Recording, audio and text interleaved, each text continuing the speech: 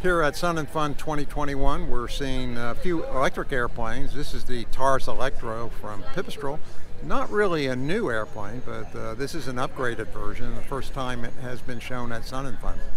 Taurus is not new. We've been making this aircraft for over 10 years, but originally we made it with a gas engine, a, a good Rotax 502. We have since used, gone to an electrical engine. It's the exact same weight as it was for the gas, but now it's everything about the electrical engine is better.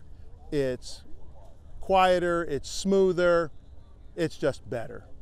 We introduced the electrical version two years ago, and it's just been it's been constantly improving.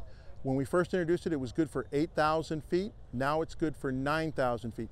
Let me explain what I'm talking about with 9,000 feet. Everybody's going to ask, how long are the batteries for? Don't think of it as time, think of it as altitude because you use you bring up the engine, you launch, and you've got 9,000 feet to take you up at, en, at any level you want. And you just keep track of it. So you can launch, go to 3,000, play glider, retract the engine. Then when you're, as you come down, you hit your decision height, you can redeploy the engine and you've still got six, in my example, 6,000 feet of, of altitude left. Take yourself up, use as much as you want, and then bring yourself back down when you're ready. When it retracts, it's a 40 to 1 glider.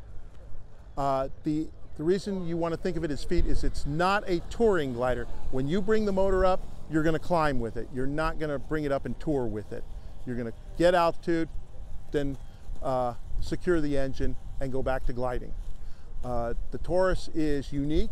Well, the Taurus is one of the few that is a side-by-side -side glider with side-by-side -side landing gear, so it doesn't need a ground crew to put it together, uh, and it doesn't need a ground crew to help launch. It's self-launching.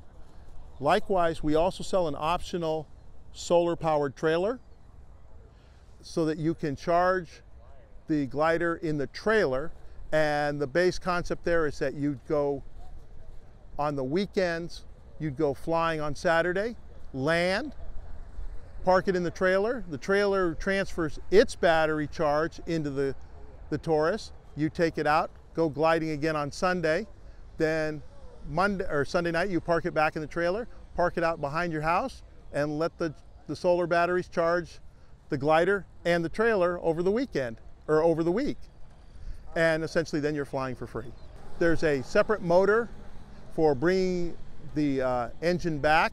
It's on a single titanium support. Uh, what it does that everyone's concerned about, there is a electric mechanism, and we'll demonstrate that in a moment, that locks the propeller so you don't have a propeller strike, and then it'll just deploy. It takes about uh, eight seconds to retract and about 12 seconds to put it up. You can put it up at speeds. So anytime, pretty much any much in the flight regiment, you can put it up. If you want to more, know more, uh, our contact for this would be Rand Vollmer.